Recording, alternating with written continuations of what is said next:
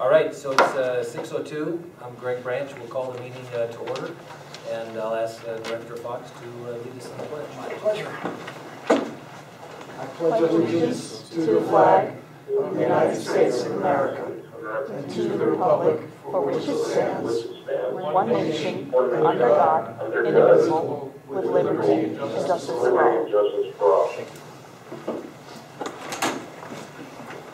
All right, and we'll call the board members. We've got uh, uh, Director Swartz, Director Fox uh, here along with myself, and uh, Director Wisniewski uh, joining via phone. Uh, If you guys would take a look at the, at the packet there real quick, and tell me if you see any additions or deletions for, uh, for the agenda. Okay. Neither do I. Did you have a chance to look at that, Len? Yes, everything's fine. I don't Okay. have any. All right, cool. You good? I am good. Okay, yes, all thank right. you. So let's take a look at the uh, February uh, regular minutes then, and uh, see if- see if we can, uh, yes. You need a motion to approve. the Oh, sorry. So we need a motion to approve the. So moved. Second. All in favor? Aye. Aye. Aye. Thank you, Len. I know we got a Aye. slight delay there. I'm fast. Okay, so now we can take a look at the uh, February uh, minutes. Uh, I will recuse myself since I wasn't there. Okay.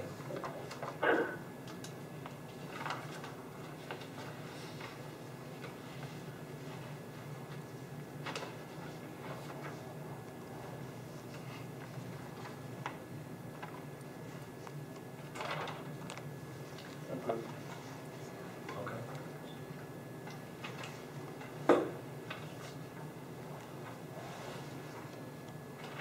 I'm good as well.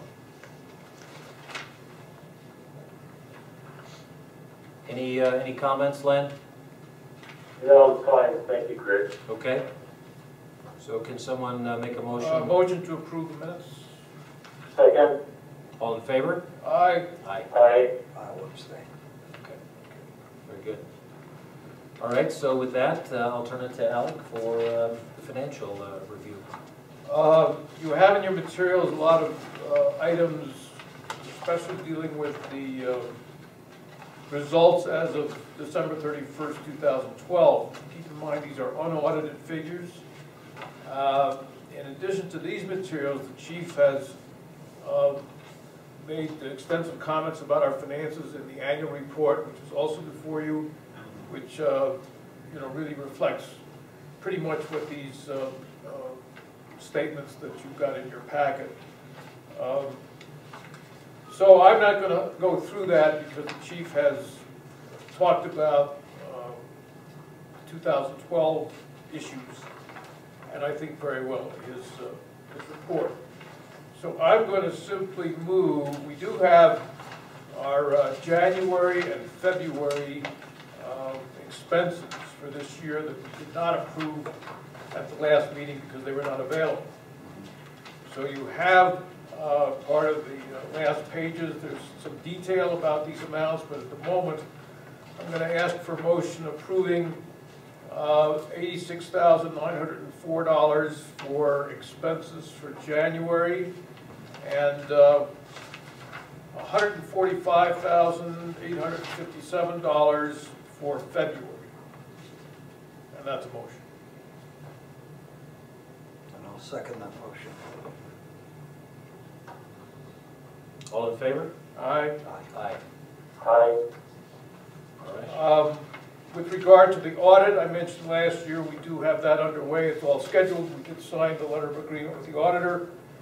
Um, Noting it then that the amounts that the, uh, of the audit that are attributable to the pension plan will be paid for by the pension fund instead instead of by the district. The district will be reimbursed for that. Uh, We've had extensive discussions with the auditor, with our accountant, and uh, uh, there's been a lot of work going into preparing the materials to the auditor. I think they're done, is that right? The materials to the auditor. So unless there are any questions, that's my report.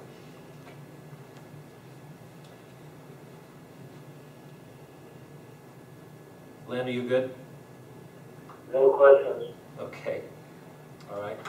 So with that, I'll turn to uh, Chief. Okay, uh, as um, Alec mentioned, uh, the annual report, uh, which is available if anybody would like a copy over there, uh, is, um, does cover uh, uh, 2012 uh, and covers both the operations side of the district as well as our, you know, financial situation for, you know, uh, based on the, the uh, numbers that the accountant just uh, completed in the last couple of days. Um, I think that a lot of the material in here is uh, material or issues that we've discussed uh, during the year. Um, So uh, hopefully there aren't any significant surprises, but I'll just go over, um, over the information in here briefly.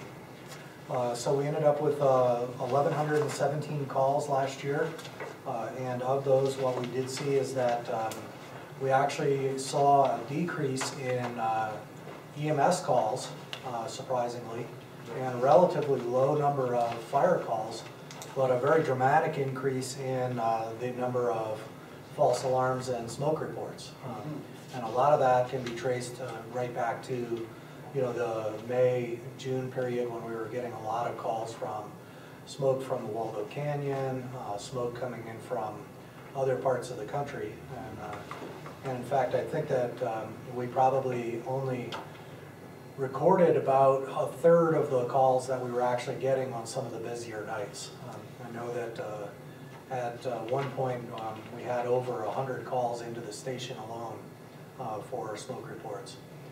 Uh, Normally, um, in the past, we would have, uh, you know, basically just told, told people in, in most of those cases that, uh, you know, uh, you know, if we knew that smoke was coming in from outside the area, that, uh, that would be sufficient for, um, you know, rather than going out and investigating each actual address. However, since the uh, lower North Fork fire, Jefferson County adopted a policy that we, that either us or the sheriff will go to every location that's reported, whether we think there's something there or not. So it ended up being um, a lot of additional hours of response uh, for the personnel. Um, What we've noticed with the um, uh, calls, again, um, you know, we did see that uh, ambulance calls dropped off and, uh, and transports dropped off uh, pretty significantly. We were almost off about twenty percent on uh, ambulance transports from previous years. And uh, a lot of that can be attributed to uh, persons uh, choosing to um, seek medical assistance on their own rather than, uh, you know, take a transport which they would get, then get billed for. So that would be primarily the folks that either uh, don't have insurance or, you know, don't want to pay the deductible on their insurance uh, to uh, accept an ambulance ride. We try to uh, discourage that whenever it's uh, medically, um, you know, uh, risky for them to respond, you know, go down to the hospital on their own. But in the end, uh, they do have, you know, for the most part, they have their, the right to decide whether they're going to take a ride in the ambulance or not. Um, This, uh, this trend, by the way, is something that we've seen, or we have heard from many of the other uh, agencies. It's, it's pretty much across the board that that's, that's been a trend that's been happening. Um, You know, more and more people are, are opting not to uh, seek medical assistance because of the, uh, the cost. Uh, One of the other things that we did uh, notice in looking at our calls um, is that, you know, very, uh, very few of our calls occur during the nighttime. Um, And in fact, uh, you can see that they really peak, uh, you know, midday, um, which unfortunately is the time that we have the least number of volunteers available to respond. So uh, that is also a trend that we see, you know, basically occurring across uh, most of the country in that, you know, call volumes increase during the daytime, volunteers are le- are least available during the daytime. Uh, We have been fortunate um, that uh, many of the the volunteers that we have now have been coming in, especially since the first of the year, and uh, uh, basically pulling shifts during the daytime alongside the, uh, the paid crew, and that has been helping dramatically in providing uh, sufficient staffing for, uh, for those calls. Um, In terms of notable incidents, I think we're all aware of the, uh, you know, the Lower North Fork fire was the biggest uh, incident that we had to deal with last year. Um, And I think that we've all heard plenty about that uh, till now. Um, You know, during the uh, mid part of the year, uh, again, we were very busy providing assistance throughout the Rocky Mountain region because of the uh, excessive number of fires and the low number of resources that were available. Uh, We uh, assisted with uh, a total of seven fires, um, you know, outside the region. And we had um, been asked multiple times uh, if we could provide resources to additional incidents, but uh, had to turn those down just from, you know, a lack of adequate personnel to, to uh, um, get out on and and help out. Um, Just kind of a note on that, we anticipate, um, you know, the, the current forecast for the 2013 fire season is um, for a busy one nationwide once again. And, uh, you know, with uh, sequestration going into effect, uh, uh, we just got word that the Forest Service is gonna be cutting 500 firefighters and 50 engines across the country. Uh, And they are, are still down aircraft as well and have not replaced those aircraft. So, uh, you know, the federal agencies are going to be going into the fire season uh, severely shorthanded uh, this year. Uh, So we anticipate that there will continue to be uh, requests for assistance from, from many of the local fire departments across the country as well. Uh, The other, we had a relatively quiet year for structure fires. Um, The, the few that we did have all occurred in the uh, latter end of the, of the um, uh, year. Uh, And um, two of them accounted for most of the fire loss that we had. We had uh, uh, one home down on Ute Road that was destroyed by a a chimney fire that spread to the house. And then an electrical fire in a house out on Smith Road caused an estimated three hundred and seventy-five thousand in damages. Uh, Other than those two fires, the total loss that we had for the year was about two thousand dollars, so relatively low. Um, But that's the way structure fires go, they, you know, you, you won't have one for three months, and then you'll have three in a week, uh, which is essentially what happened. Okay, um, our average response time for calls last year was two minutes, or twelve minutes and twenty-five seconds. Uh, and, uh, it was quite a bit longer for fire calls than it was for, uh, EMS calls, in part because, you know, our personnel, when they're responding to fire calls, have to go into the ambulance bay, get dressed, and then go out to the, the other building and, uh, take the engine from there, so it's a slower process unfortunately.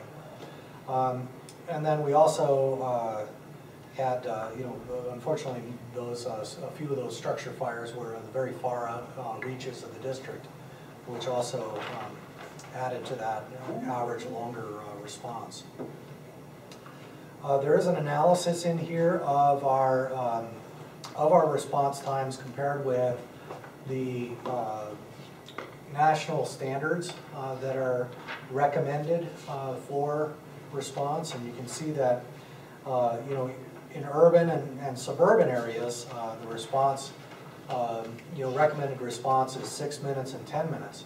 We don't have any areas within our district that fall into those categories. We do have rural and remote. Uh, Remote areas are those areas that are uh, more than eight miles distant from a fire station. And uh, for the most part, that would be places, uh, you know, on some of the dirt roads like uh, Lost Resort Creek Road or, uh, you know, White Hawk Trail or places like that where we have relatively little population as well. Um, And there's no time specification for, for that. In the rural areas, which essentially makes up all of, uh, you know, our district, uh, the recommended response time is uh, to get to eighty percent of all calls in twelve minutes or less. And we actually, um, we're at fifty-one percent on that. So that's a, that's a target that uh, we're going to work toward increasing that uh, response capability. However, uh, you know, we know that going into it, we have, you know, with only two-person staffing at the station here, Uh, And uh, this being the only one of the four stations that is staffed, uh, you know, we're going to have delays in, in a large part of the district as we wait for volunteers to respond, you know, from their homes. Uh, Another factor that uh, really uh, hits us is those calls where we have more than one incident occurring at the same time. Uh, Every time that we go out on an EMS call with a transport, uh, the average round trip down to the hospital and back is 90 minutes. If, you know, we only have two persons on, on staff at any given time, if they're out on a transport for that 90-minute period, we get another call in, then we're relying on volunteers to come in and respond. Uh, There were a couple of times where we got to three and four calls at a time, and in those cases, uh, we were actually having to call in uh, assistance from neighboring departments. And a few of those calls ended up being response times in the neighborhood of 45 to 60 minutes, which is really outside of uh, what I would see as an acceptable response time to an incident. Uh, As you know, we've been working with, uh, with all of the departments and with dispatch to set up a program where dispatch will send the next closest resource automatically if we don't have a resource available to respond. However, we think we're still three or four months away from uh, them being able to do that. So in the meantime, we still have to, you know, um, basically get on the radio and ask them to begin calling around to other fire departments to see if anybody has a resource, you know, an ambulance or a fire engine that they can uh, send when we're uh, busy. Um, Another fa you know, another measure that we look at with the uh, uh, response times is how long does it take us to assemble, uh, you know, a minimum uh, force for fighting a fire at structure fires. And uh, that standard is, uh, in rural areas, is that six firefighters on scene in 14 minutes, 80% of the time.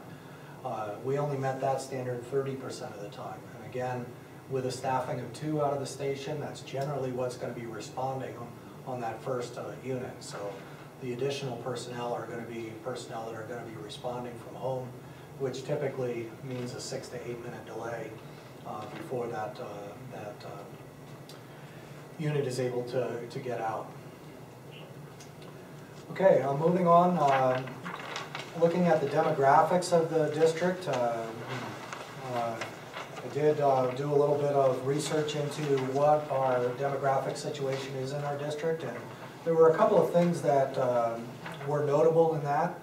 Uh, First off, that um, the estimates of population in our district have declined over the last several years by approximately five percent, which is a fairly significant uh, de- decline in population. Uh, I believe that probably goes along with uh, closing of, of a number of businesses in the last two years up in the area, um, uh, and uh, vacancies in the business, uh, commercial centers. And along with that, we saw that there was actually an increase in the number of people uh, in, within the district that are on social security and Medicare. Uh, So basically, the, the average age of the resident of our district uh, has gone up from what was estimated uh, two years ago at 40 years of age to 47 years of age. So it's been a combination both of people leaving and of an actual increase among the people that are still here uh, in the, in the, uh, the elderly population. Um, And we, we're seeing that in, in terms of our ambulance billing as well, as more and more of our ambulance transports are Medicare transports and, and fewer of them are private, uh, insurance transports. Um, we did see within the year, um, you know, it looks like the real estate market is, uh, is turning around, at least according to Zillow, which is probably, uh, somewhat reliable in terms of, uh, uh, reporting, uh, real estate values. Uh, However, um, you know, they are also a little bit uh, prone to, uh, you know, because it's an automated program, it reacts a little, bit overreacts to sales that may occur in the, in the real estate market. Uh, But we can, we can certainly, it's looking like, um, you know, the, the housing market has passed uh, the, um, the low point and has started to recover. Uh, We certainly have been hearing that in the, in the greater Denver metro area, uh, but we do know that we are lagging behind that, uh, the Denver metro area. They've already surpassed, uh, you know, the average uh, home prices uh, from the peak prior to the, the market um, crash in 2008. Uh, One, one problem with that for the fire district is that we run two years behind uh, housing values in terms of uh, property tax collections. So uh, if the market turns around in, in 2013, uh, we won't see an increase in uh, property tax revenue for the fire district until 2015. So uh, for the next two years, we're basically going to continue to see those slight losses that, that we had in, you know, uh, 2011 and, uh, and 2010 and 2011. Uh, So we can anticipate that we will continue to see decrease in property taxes over the next two years, or at best, those property taxes will flatten out. Okay, um, the next part of the, of the report does cover valuation and, and property tax revenue. And again, uh, you know, the property assessed value has uh, fallen, uh, uh, five, or five percent, uh, since the two thousand eight, um, uh, peak. And, right now, we're down to an assessed valuation of, of hundred and ninety-nine million in the district. Uh, Our mill rate is uh, four point nine one, which is the lowest uh, in, you know, the Denver metro area and one of the, one of the very lowest in the state of Colorado. So unfortunately, that does mean that, um, you know, our, our tax funding is, uh, is very challenged. Um, You can see that, uh, you know, right now, um, in Jefferson County, uh, you know, five point eight percent of property taxes in areas that don't have uh, overlay districts uh, goes to uh, the fire district, whereas approximately uh, seventy percent goes to the school district and another about twenty-eight percent to the um, uh, county fund. Um, In some of the areas, uh, there are additional uh, fees such as uh, in um, Kings Valley has a water district and Will-O-Wisp has a um, metropolitan service district. So in those areas, those are also uh, added into that total uh, tax bill for those um, areas. So we began uh, 2012 with a cash balance of uh, $541,000. Uh, We collected more revenues uh, during the year than we had anticipated. However, um, the- those additional revenues were pretty much entirely from the wildfire reimbursements from assisting in other areas, which was $236,000. Uh, Taking that out of the picture, we actually were well below our projected revenues. Um, And what we saw is that we actually had, uh, uh, and we just got the final numbers on the property taxes, that we actually ended up about um, uh, $19,000 below projection on the property tax. And what that indicates is that there were a percentage of people who basically just didn't pay their property taxes. Uh, Those are very often distressed properties. The fire district will get that fund at some point, you know, usually when a distressed property goes to a foreclosure sale, or in, you know, some cases when, uh, you know, eventually that land is transferred or sold, or, um, you know, so we'll often get the back taxes that are owed, but, uh, you know, in times when uh, uh, people are short, we tend to see tho- those numbers drop down below the projected uh, number, and that was the case here. Uh, We did collect more in ownership taxes, which are the license plate fees uh, than we had expected. Uh, But another big area where we did see uh, an un- unforecast uh, decrease again was the ambulance revenues, where we were about ninety thousand dollars below projection there. Um, Our net revenue for ambulance billing, again, is, uh, is off by about a hundred thousand dollars uh, over the year too, so. We made that uh, up with the, uh, the wildfire reimbursement funds and essentially, essentially broke even for the year. Uh, which is the first time in three years that we did, although I was hoping that we would actually have a little more cushion than we did. Uh, We basically collected about two thousand dollars more than we spent during the year, which is uh, very, I mean, it's essentially hundred percent uh, on, uh, on spending. Uh, Again, property tax revenues, you can see in there, uh, the, the trend that uh, we have, have had in the property tax, um, uh, uh, which has fallen from a high of uh, about um, 1.1 million to uh, this past year. um, You know, uh, we're down to about uh, 980,000, and we're anticipating uh, that uh, is gonna fall a little bit further. We had budgeted almost 980,000 going into next year. However, if we once again have, um, you know, a shortfall where property taxes aren't paid, then we'll see, an you know, an additional fall off in the, in the projected, um, the projected uh, property tax funds. Okay. um, In expenditures, uh, we also had expenditures that were higher than, uh, than originally budgeted. But the biggest uh, chunk of those essentially came in uh, uh, wildfire suppression uh, fund.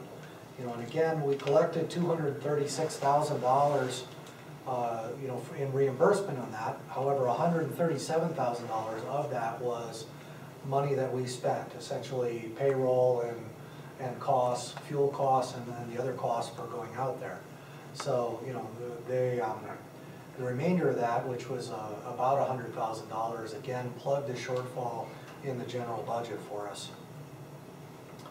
The, uh, the other areas that we went uh, uh, higher than projected included um, uh, fire suppression, uh, which included equipment and as well as, um, you know, a number of other ex- expenses. Uh, Maintenance was higher than, um, than budgeted.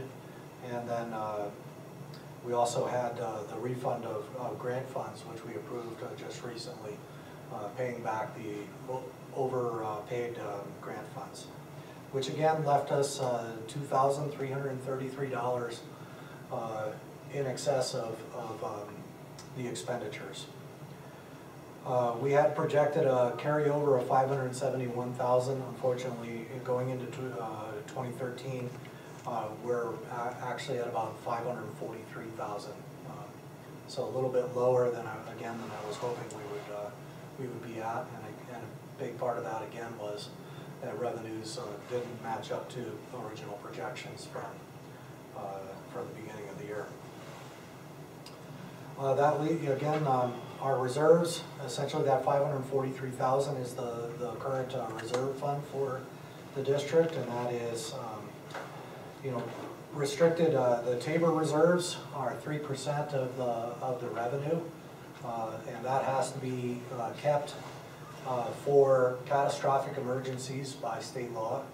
Uh, And then um, the board restricted reserves of a hundred thousand that we're retaining for non-catastrophic emergencies, uh, you know, and then the uh, three hundred and fifty-one thousand is, uh, is set aside for uh, maintaining our cash flow at this time of the year, uh, because, you know, currently we've only taken in four percent of uh, tax revenues, but obviously we've had two months of spending, so we'll, s- we see our reserves dip down to their lowest point sometime in March and then begin to, begin to come back up around April. So that, um, that uh, number there is based on estimates of how much we're gonna be spending during the first three months of each year.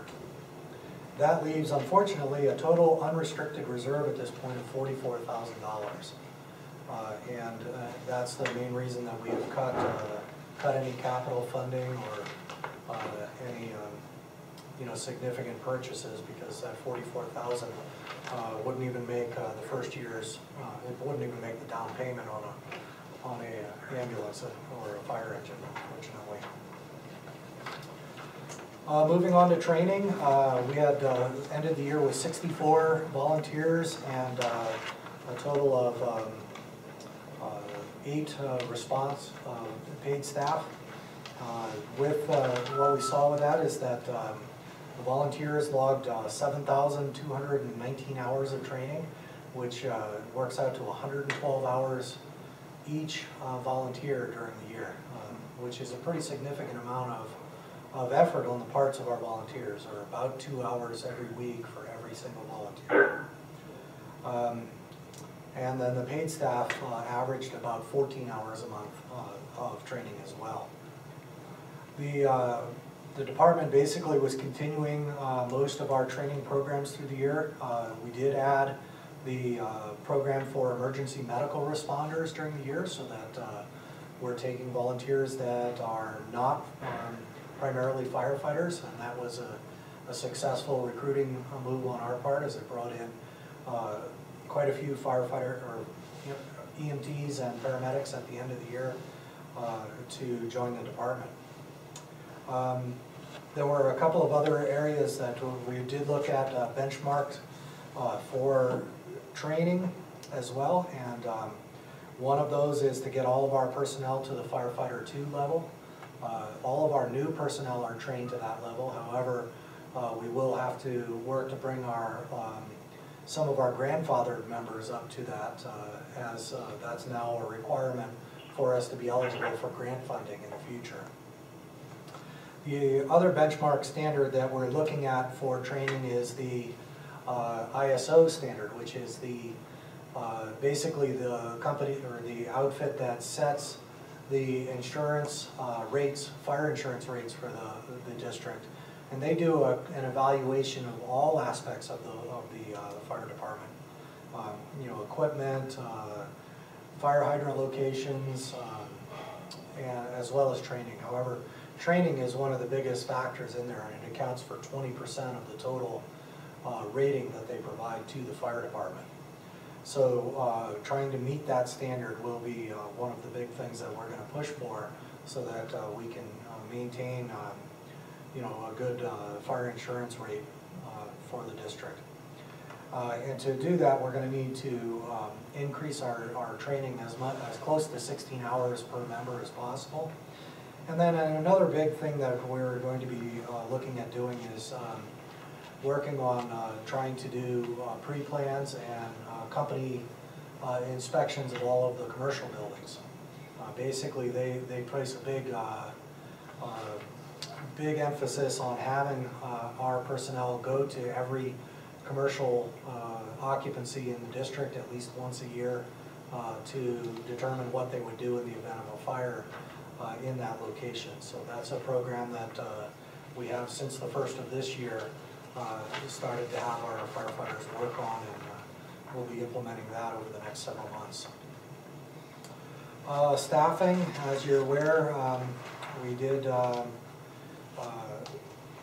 uh, lose Chief Page at the end of the year, and we also um, eliminated the halftime administrative position. Uh, We all, we had two, uh, turnover of two of our uh, firefighter paramedics during the year. And then we had the promotion of the uh, three um, firefighter EMTs to lieutenant or captain. Had uh, seven volunteers uh, left the department. Um, Most of those were removed for inactivity. I think we had one who moved out of the area. And then uh, 11 uh, new volunteers that joined, and then six other members who joined us uh, during the, the emergency medical provider program. Um, Prevention, uh, again, the big focus that we had in prevention was the mitigation uh, programs and working to uh, encourage the Firewise uh, and we, programs, and we have had uh, additional um, interest uh, as we get into the spring. Uh, A lot of the people who put that on the back burner for the fall are now uh, calling up, and we're doing a lot more uh, home inspections, providing mitigation advice, and working with neighborhoods on the, getting the Firewise uh, program implemented in those, um, in those communities. The other side of prevention, however, you know, we, uh, for a while back in, you know, kind of the boom days back in 2005 to 2007, the fire marshal's position was funded almost entirely from uh, permit fees for new construction. Uh, At the peak, uh, that was, uh, you know, running about fifty to sixty thousand dollars a year. Um, That has fallen by eighty percent to the lowest level since the fire marshal's position was placed in, in the department uh, with a total of um, about eight thousand dollars permit, or ninety-nine thousand dollars in permit fees for the year. So uh, basically, eighty, for eighty percent fall off in the, in the workload of the fire marshal's position, uh, which led, of course, to part of our decision to um, uh, eliminate that, uh, that position in the department. Okay, and then finally in the apparatus, um, you know, we did add one used brush truck during the year. uh, And uh, that is, uh, um, our uh, fleet uh, uh, supervisor has been working to uh, get that into service before uh, fire season gets going this year. Uh, we had a replacement ambulance during the year. And then we removed the hazmat truck, the pump truck, and the reserve ambulance, as well as one of the staff vehicles. Basically cut those, those vehicles out of the, out of the fleet. And then on the last page there, you can see the, um, basically our situation as far as our rolling stock goes. Um, We, you can see that uh, any of the uh, boxes that are marked red in that um, chart are those apparatus that have met or exceeded their expected service life. And expected service life doesn't mean that, uh, you know, those trucks are no longer suitable, uh, but it is uh, useful for us in terms of a planning tool to determine, you know, on average, when we want to be replacing those apparatus. Uh, The longer that you go beyond the service life, the higher the maintenance costs go, the less effective the, uh, the apparatus is.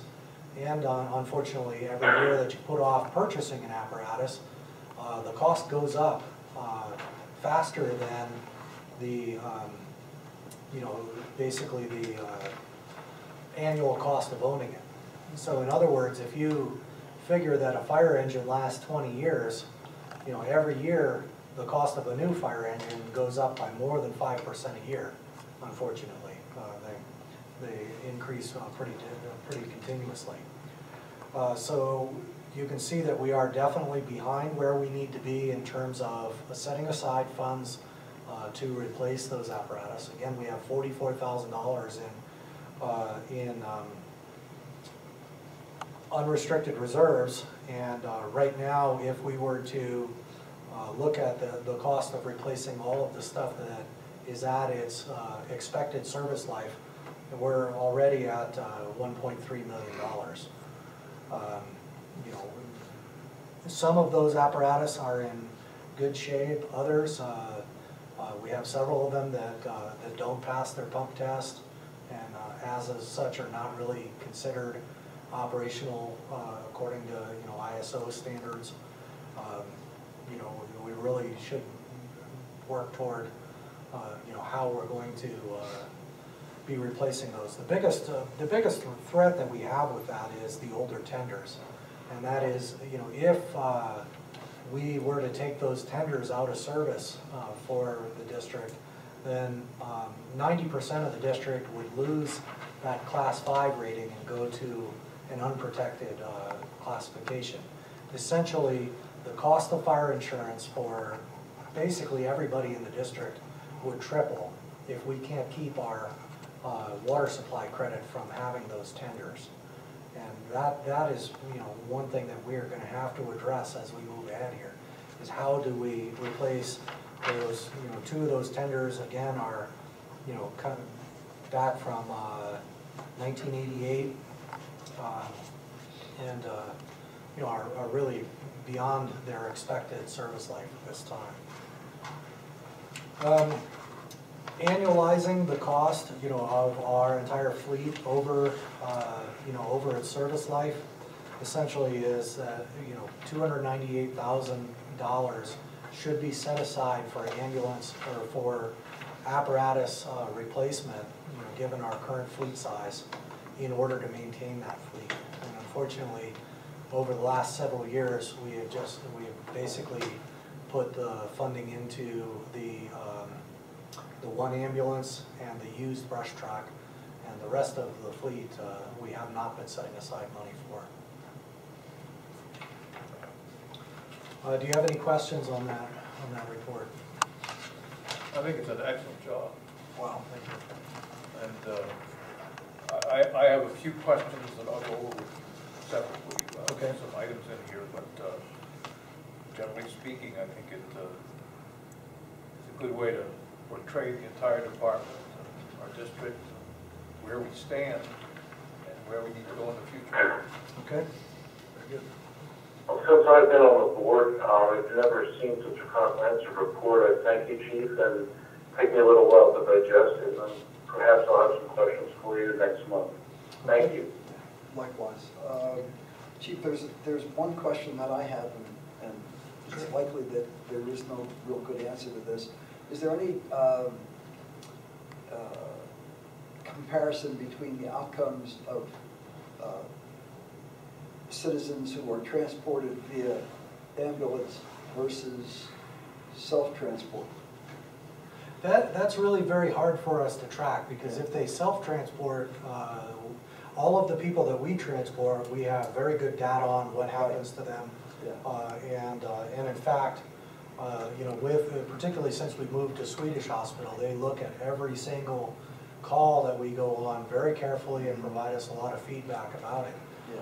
Uh, People who transport themselves may go to a variety of different facilities, uh, and we don't have access to, you know, what happens in those situations. It'd be interesting to know that, but there's no way that, It- that and- the department can assemble Yeah. those kinds of We, statistics. we really can't. Uh, uh, You know, we know that, um, you know, across the country, it's becoming a bigger issue, and it is, uh, you know, it, it ties together with the problems that many of the medical facilities are are having where, you know, people that are otherwise uh, not seeking medical assistance are, you know, basically their sole medical contact is either the emergency room or in some cases, the personnel in the ambulance. Mhm. Um, And in some of those cases, they'll call an ambulance just to get, you know, treatment at home, and they won't even drive themselves to the hospital because Right.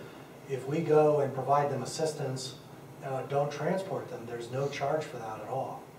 Uh, However, we're not really geared up for that. We don't run doctors and nurses on the ambulance. Our, our uh, ability is based on, you know, being able to intervene uh, and uh, deal with emergency situations, not to provide, you know, uh, healthcare to, you know, many of those people. There's no way that, uh, have any departments or any ambulance services started or been successful in charging for emergency intervention without transport?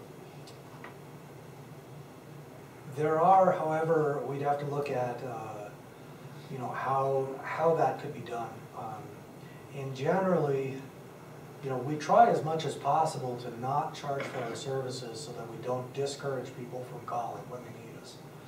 Um, You know, ambulance transports is, is basically the only area where we uh, charge for service currently. Uh, And, um, you know, we could certainly look at that, but, uh, you know, I certainly have mixed feelings about that. I, you know, for example, many areas that, you know, rely on uh, tax funding for that service will provide ambulance transport to residents of the fire district at no cost or at only the cost of, um, you know, the ambulance or what the insurance company will cover. Uh, And that actually is a, is a nice program because it means that, you know, none of our residents would be out of pocket on, on those ambulance transports. Um, We deal with a lot of financial aid applications from folks who are on, you know, uh, disability or on other, you know, very limited incomes. Uh, And it's very difficult for us to, you know, I mean, if someone is making, you know, nine hundred dollars a month on, you know, social security disability payments, it's pretty hard for us to say, we want you to pay two thousand dollars for, you know, an ambulance uh, ride. Uh, So we generally will, you know, waive, the waive the cost on those. Uh, We're not in a situation, obviously, where we can provide this service without uh, billing for it, but we're trying to strike a balance between, you know, providing the service and, you know, still keeping our financial uh, boat afloat. But, but, but absent some kind of other support um, from the public, we The problem, are, are the are biggest not gonna be able to, to, to continue this kind of service. That, that's true, but the biggest problem with that is that um, people's insurance and Medicare do not pay for a visit by an ambulance. They pay only for a transport. So if we charged anybody for visiting their home, providing care, and not transporting them, then that is always out of their pocket. Okay. Uh, On another subject, uh, you're still recruiting for the uh, assistant chief position, is that correct? Right, we are, um, and uh, we're hopefully going to be inviting uh, personnel to interviews shortly. Uh, We have been working on um, basically narrowing the list down from the 18 applicants that we have. Um, And my hope is that we'll be conducting you know, phone interviews in the next couple of weeks. Uh, A couple of other um, current issues to uh, bring you up to speed on. Uh, The MAP uh, project, uh, we have gotten all of the uh, um, maps uh, data has been entered, the maps are in proof form, and we anticipate getting those actually printed up and and onto all the apparatus within the next couple of weeks. And the UTV that was funded by the grant from the Rotary Foundation, it has uh, arrived, and we've got that uh, uh, waiting for basically to get a water tank and pump on the back, and then have it ready to go for, uh, for wildfire season. Thank you. Any other questions? I have nothing else. Excuse me. Nope. Len, you good? Yes, thank you. All right. So Marie, remind me, with the uh, chief's report, is there anything else we need to do with that? All right, thank you. Just want to make sure. Okay, so with that, uh, any old business items?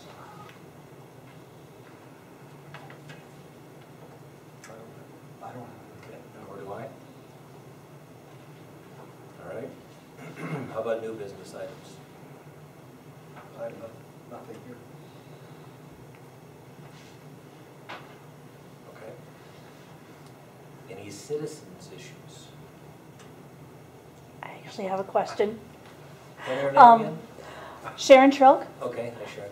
Hi there. Um, so I asked the chief a while ago, and I know he's very busy, and I don't know if he's had a chance to ask all of you this, but I was inquiring about whether you could set up a PayPal account that people could donate directly to the fire department without having to send a check in. You could put the button on your website, I could put the button on my website, and it would make it easier for people to donate to you because, as you say, you are struggling right now, especially with tax season being at this time of year.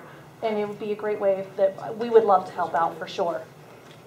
I like that. I just used it today for exactly what you're talking about. I think it's a great idea. Okay. We we need to explore that. Great. Thank you. Thank you It's a for raising idea. that, yes. And then you can put it on 285 Bound at the fire department. It will be on the homepage. There you go. We'll, we'll be back to you shortly. Thank you. Thank you. Any other items?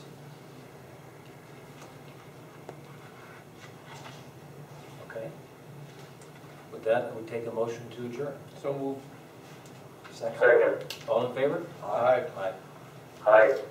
At uh, 18, 1849. All right, thank you.